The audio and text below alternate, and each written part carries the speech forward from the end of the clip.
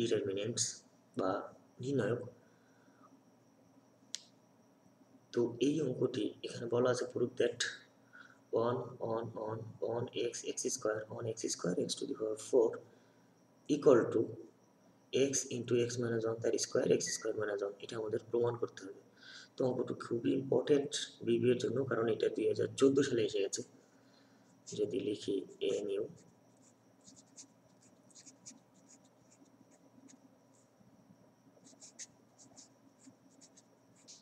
দুই হাজার চোদ্দ।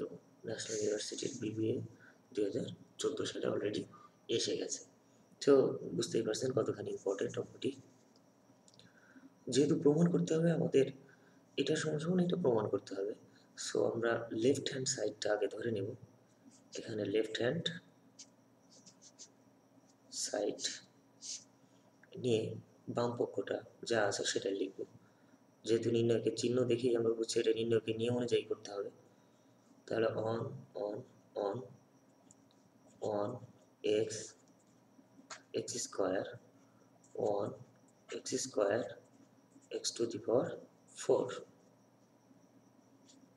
equal to তো আমাদের প্রমাণ করতে হবে এক্স মাইনাস ওয়ান তার স্কোয়ার তো সর্বপ্রথম আমরা দেখি যে এক্স মাইনাস ওয়ান কীভাবে তৈরি করা যায়।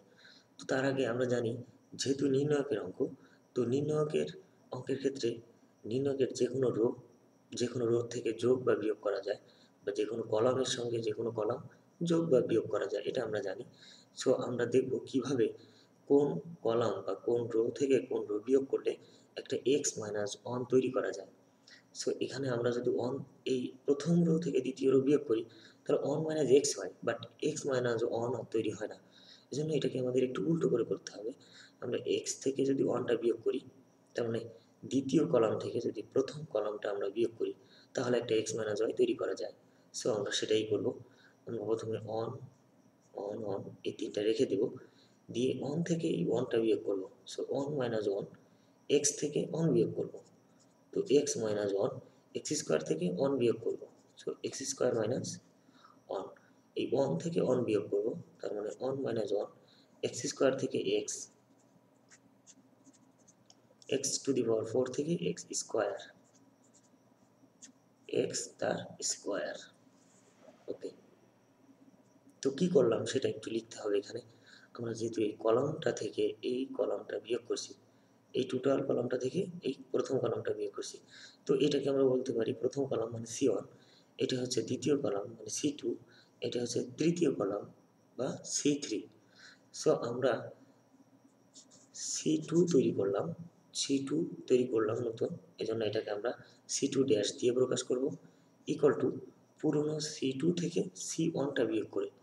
তো এই জন্য C two minus C one লিখব। আর এই সি থ্রিটা কীভাবে তৈরি করলাম? সি থ্রি থেকে সি টুটা বিয়োগ করে। সো আমরা এখানে লিখব C three dash equal to C three minus C two তার মানে এই কলমটা থেকে সি থ্রি থেকে সি টুটা বিয়োগ করে আমরা নতুন একটা সি থ্রি তৈরি করলাম। এবার আমরা যোগ বিয়োগ করব। তো ওয়ান ওয়ান ওয়ান এটা রাখলাম। এবার ওয়ান থেকে ওয়ান বিয়োগ করলে এটা জিরো হয়ে যাবে।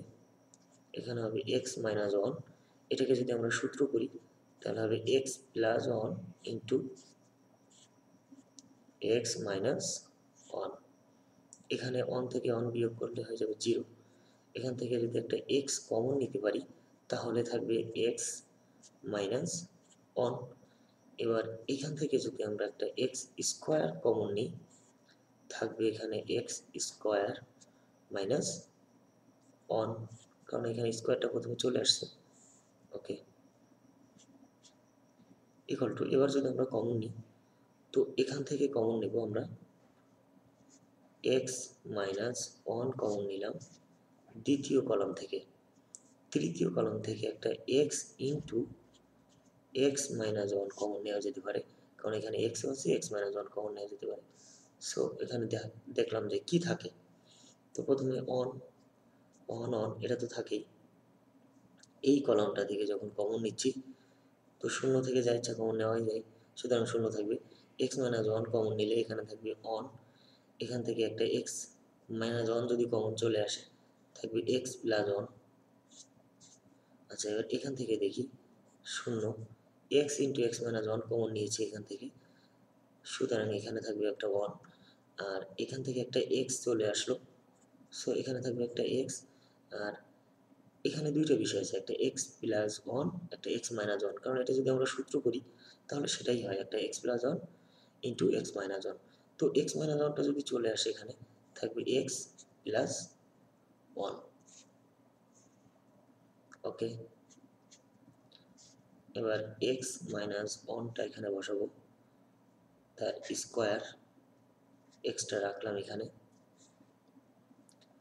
এবার দেখি যে, যেহেতু এই রোতে দুইটা শূন্য রয়েছে সো আমরা একটা নিয়ম, এটা জানি যে যে কোনো রো বা যে কোনো কলমে যদি পরপর দুটো শূন্য থাকে, তো যে মানটা থাকে ওই মানের সোজা রো এবং কলমটা আমরা বাদ দিয়ে অঙ্কটাকে ছোট করে নিতে পারি। সো এখানে ওয়ানের সোজা যেহেতু দুটো শূন্য রয়েছে, তো এই এই রো এবং এই কলমটা আমরা ধরে বাদ দিয়ে দিতে পারি, দিলে অঙ্কটা অনেকটাই ছোট হয়ে যাবে। আমাদের প্রমাণ করতে অনেক সুবিধা হয়ে যাবে। সো এখানে আমরা লিখব এক্স প্লাস ওয়ান আর এখানে x into x plus one